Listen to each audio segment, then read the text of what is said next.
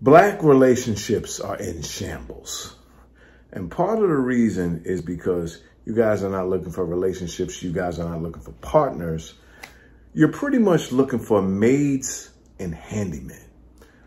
To put it more specifically, you're looking for handymen that are also sugar daddies, and you're looking for maids that you can also have sex with. Let's get into it. Modern man standard.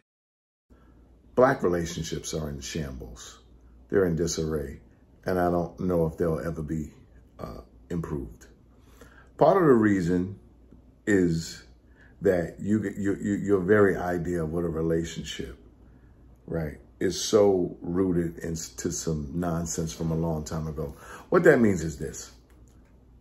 You guys want people to do things for you. You don't really want a relationship, you know, or should I say your idea of a relationship is let me find somebody who can do some tasks for me. Let me find somebody who could do something for me. You understand what I'm saying? Y'all are not looking for partners. Y'all are not looking for companions. Y'all are looking for caretakers, okay? Y'all are looking for handymen. All right? This idea that, um, I'm going to talk about the ladies real quick. This idea that a lot of ladies have that a man is supposed to uh, uh, pay their bills and get their hair and nails done and then come by and fix a leaky sink or put up some drapes or some shit like that. Like, like a man is a goddamn handyman slash sugar daddy. Yo, that's whack.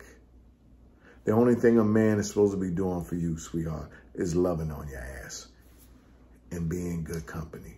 Fellas, I be hearing so many of these goofy ass niggas talking about they want a woman to cook and clean and got, yo, motherfuckers, I heard a motherfucker today say he want a woman to wash his clothes.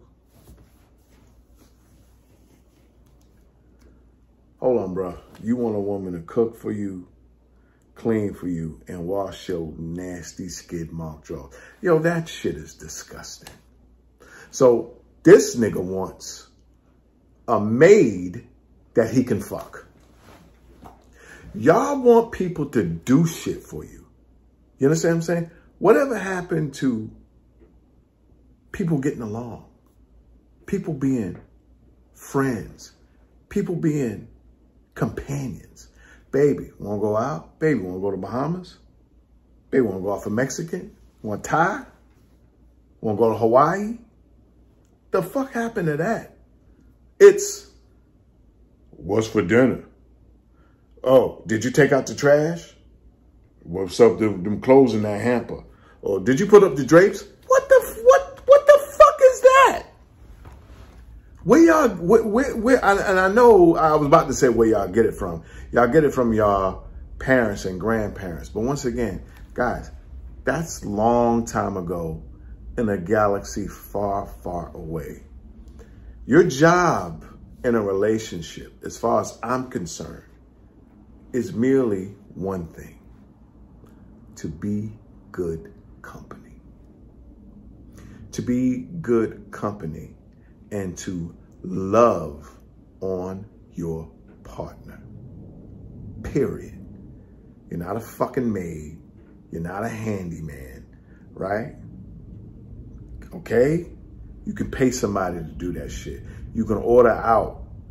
A person is, eh, eh, or you can cook. And if a person cooks or cleans, right? Or if a person puts up drapes or fixes the faucet, that is a gesture of kindness to say, hey, I like you and I'm, I have the ability to do this, right? So I'm going to do it. And it should not have any gender attached to it. You know, not a gender, but gender, male and female. You understand what I'm saying? And it's not an entitlement. You are not entitled to a woman cooking for you and washing your fucking clothes. You are not entitled to a man paying your lousy ass bills. I don't, once again, I was about to say, I don't know where you get this from, but I know where you get it from. And they were wrong. Well, I'm not going to say that they were wrong.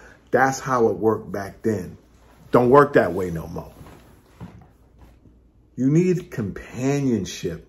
You just need a person that is nice, sweet, kind, not disrespectful, really understanding, pleasant to be around, respectful. You understand what I'm saying? That can love on you and you can love on them back. Not a fucking job. Not cleaning a toilet. Not paying your bills. That shit is whack. This is a new day. All right? You have companions. So I'm going to say this in closing. Relationships, as far as I'm concerned, and maybe that's why a nigga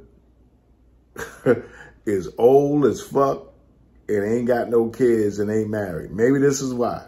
But I see relationships as being joint ventures. A joint venture is when a separate entity, business entity, that's self-contained all by itself and another business entity, self-contained all by itself, they agree to do something together. But they don't have partners. They don't, they don't give up anything over here and they don't give any, anything over here. They come together at this one point to do this one thing, right? That's mutually beneficial for both parties, a joint venture. And that's what I think that relationship should be. Not this hierarchical shit. Not this, I'm the leader. I tell you what to do, baby. And you go over there and you, you pay the bill. That's, that shit is very old.